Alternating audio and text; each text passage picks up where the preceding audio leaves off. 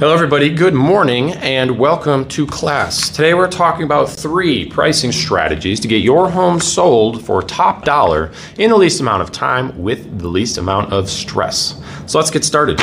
Proprietary information directly from the Rivera team's listing presentation, so stay tuned. We're going to start with this little graph right here at market value. And I want you all to pay attention to this side of the graph.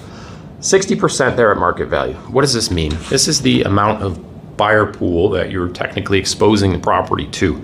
And as we may know, more exposure to the property creates more compellingness to the market, which creates more buzz, which creates more offers, which creates uh, more showings, which creates more opportunity to actually get a higher price than you've actually listed for, which is great. But why would you ever list under value? Because you can maximize that buzz.